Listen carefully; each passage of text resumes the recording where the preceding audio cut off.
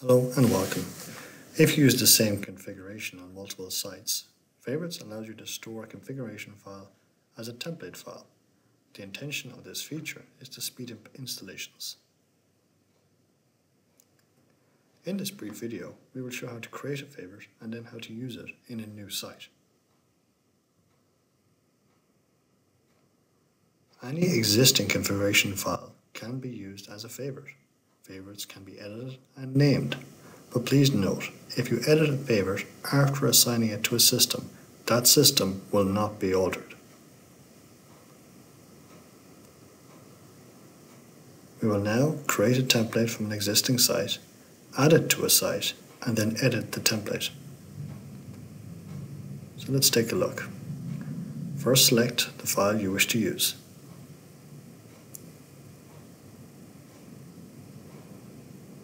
We select the file and we select the Add to Favorites option.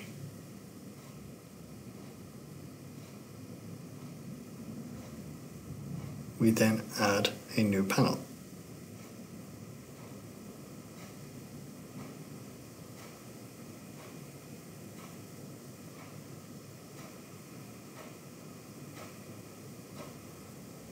Select Save, and now we apply our favorite.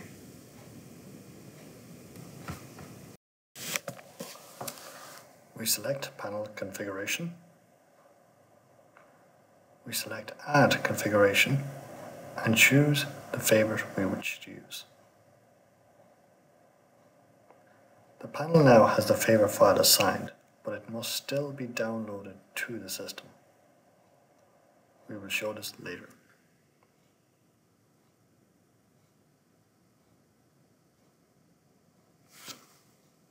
We will now edit our favorite file in order to give it a name that is more relevant. We select Edit on the favorite and enter a name. You may also enter a description if you wish. Selecting Save, we can now return and see that the new favorite has been updated.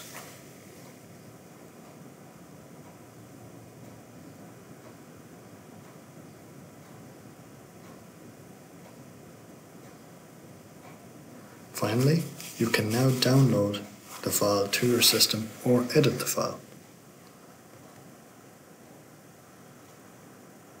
By selecting the Send this configuration file to panel, the file will be downloaded to your SPC panel. Thank you for watching and goodbye.